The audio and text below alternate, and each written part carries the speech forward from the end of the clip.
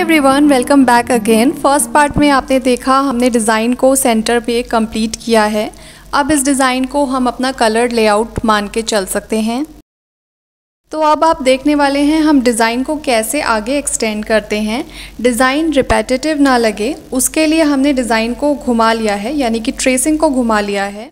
इस बार जब मैं ट्रेसिंग का इम्प्रेशन लूँगी तो फुल ट्रेसिंग का यूज़ नहीं करूँगी। यानी कि हम डिज़ाइन का हाफ़ पार्ट और कहीं पर अलग तरीके से हाफ़ पार्ट यूज़ करेंगे। ट्रेसिंग के लिए आप सेम प्रोसेस फॉलो करेंगे। डिज़ाइन के उस पार्ट में आपको कॉइन रब करना है, जिसका इम्प्रेशन आपको चाहिए। ट्रेसिंग कंप्लीट होने के बाद लाइट ट्रेस्ड पेंसिल को डार्क ज़रूर करना है।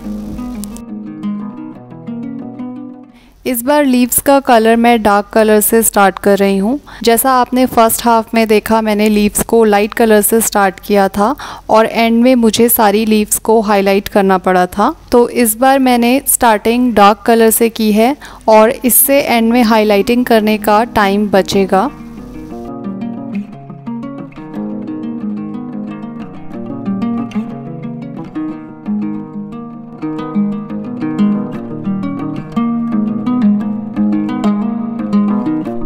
लीव्स कंप्लीट करने के बाद हमें फ्लावर्स करने हैं और फ्लावर्स का प्रोसेस बिल्कुल सेम रहेगा जैसे हमने फ़र्स्ट पार्ट में किया था। इस पर मैंने पूरी कोशिश करी है कि वीडियो को मैं कम से कम स्प्लिट करूँ। आप लोग हमेशा कमेंट्स में कहते हैं कि मैंने बहुत सारा पोर्शन स्प्लिट कर दिया तो इस बार मैंने वैसा नहीं किया है।